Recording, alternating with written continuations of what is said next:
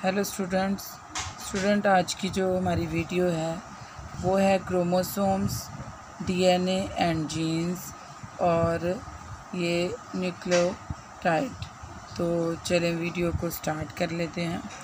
तो स्टार्टिंग में मैं आपको बताती जाऊँ कि ये क्या है ये एक आ, हमारे पास जो है ये क्या है एक सेल। इसको हम कहते हैं सेल। ठीक है? सेल है और ये जो सेल का दरमियानी हिस्सा होता है, इसको हम क्या कहते हैं कि ये क्या होता है? ये हमारे पास न्यूक्लियस है, ठीक है? ये क्या है? ये जो गोल सा आपको नज़र आ रहा है, ये क्या है? न्यूक्लियस। तो चलें, इस न्यूक्लियस को हम क्या कर लेते हैं कि इसको उठाकर हम बाहर लेके आ जाते हैं। तो इसको हमने यहाँ, इस न्यूक्लियस को उठाकर हम ले आई यहाँ पर। तो यहाँ पर न्यूक्लियस ये हमारे पास अब न्यूक्लियस बाहर आ चुका हुआ, सही है? तो ये क्या है हमारा? ये न्यूक्लियस ठीक है? तो न्यूक्लियस ये समझाने के लिए आपको सेल में से न्यूक्लियस को बाहर लेकर आई हूँ कि आप इसको तफसील से समझेंगे। तो यहाँ पर जब न्यूक्लियस को हम बाहर ले आते हैं तो यहाँ हम देखते हैं न्यूक्लियस के अंदर क्या है? ये कुछ धागे नमासी चीज़ें हैं। ठीक है, ये जो न्यूक्लियस के अंदर जो धागे नमासी चीज़ें होती हैं, इनको हम क्या कहते हैं? इनको हम कहते हैं क्रोमोसोम्स। ये बिल्कुल ऐसे धागे की शेप के होते हैं और इनको हम क्या कहते हैं? धाग वो, ये होते हैं क्रोमोसोम्स।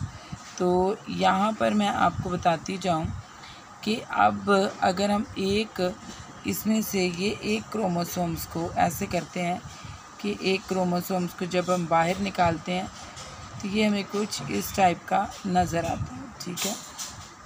ये हमें इस टाइप का नज़र आएगा, एक क्रोमोसोम, ठीक है? तो ये क्या होते हैं, इसके अंदर, ये देखो, ये कुछ इस तरीके का हर क्रोमोसोम्स के अंदर ऐसा स्ट्रक्चर बना होता है। इसको क्या हम कहते हैं कॉलिंग ठीक है? इसको हम कहते हैं कॉलिंग अब यहाँ पर ये बड़ा करके दिखा दिया आपको कि ये क्रोमोसोम के अंदर, ये देखें कि इस तरीके की इसमें कॉलिंग हुई होती है। अब ये पूरा जो है, इसके अंदर क्या है, ये क्रोमोसोम्स हैं और इसके अंदर इस तरीके की ये कॉलिंग हुई हुई है। पूरा फिल फिल हुआ होता है, ये भरा होता है पूरा, ठीक है? तो अब आपको मैं बताती हूँ कि ये डीएनए जो है, ये एक, इनमें से हम इसको एक को सिर्फ़ निकाल लेते हैं, ठीक है? जब हम इस एक को निकाल कर यहाँ बाहर ले आएँगे तो ये कुछ इस तरीके का धागा होगा, लेकिन ये सिंगल नहीं होगा। ये इस तरीके का दो धागों में डिवाइड हुआ हुआ धागा होगा, सही है? तो ये जो होता है, ये जो इसको क्या हम बोलते हैं, इसी के अंदर क्या होता है इस जो ये एक क्रोमोसोम्स है, ये जो धागा है, इसके अंदर ही क्या होता है, डीएनए क्या होता है, सेफ़ होता है, ठीक है? तो और ये जो ऐसे ब्लॉक से बनाए हैं, ये देखें एक एक, दो, तीन, चार, पाँच ब्लॉक हैं तो ये क्या होते हैं, ये जीन्स होते हैं, ठीक है? तो जीन्स क्या होते हैं कि जिसमें माँ और बाप की दोनों एबिलिटी आती हैं, ठीक है? तो ये क्या होते हैं? इनको क्या बोलते हैं हम? जीन्स बोलते हैं, ठीक है? अब ये देखें कि यहाँ पर जो है, ये जो धागा है, इसके ये जगह जगह ऐसे एक बंडल सा नज़र आएगा और इसके अंदर ऐसे छोटे छोटे से बॉल्स होंगे। तो ये क्या होगा? डीएनए प्लस प्रोटीन इसको क्या बोलते हैं? DNA plus protein histone protein भी इसका नाम है, ठीक है? और फिर ये जो है, ये क्रोमोसोम्स के अंदर ये हो, ये होता है कि डीएनए और प्रोटीन के ये ब्लॉक से बने होते हैं। अब बात आ जाती है कि ये जो ये धागा है, सिर्फ़ देखने में सिंपल लग रहा होता है, लेकिन इसके साइड्स पर ये न्यूक्लाइड होते हैं। ये जो होते हैं, ये देखें, ये जो धागा है, इसके ऊपर ये पूरे कुछ फासले पर इसके ऊपर ऊपर ये बने होते हैं।